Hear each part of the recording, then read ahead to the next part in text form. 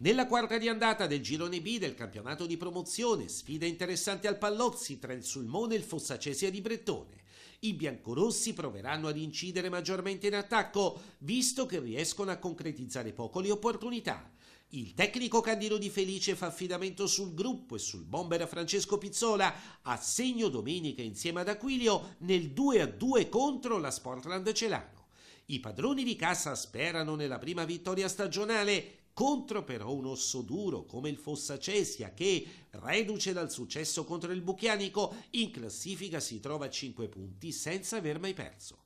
La matricola Virtus Pratola sarà impegnata nella trasferta contro l'altra neopromossa Ortona, attuale capolista del girone. I padroni di casa cercheranno di allungare per tentare la prima fuga del campionato. I pratolani però, nonostante la squalifica di Scelli, faranno il possibile per conquistare un risultato positivo e dare seguito così al pari della scorsa domenica contro la Val di Sangro. I sangrini domani saranno l'avversario del Raiano i Peligni reduci da 2 KO e con la gara contro il Casalborghino ancora da disputare dopo due rinvii consecutivi intendono risalire la china con l'auspicio di abbandonare l'ultimo posto in classifica.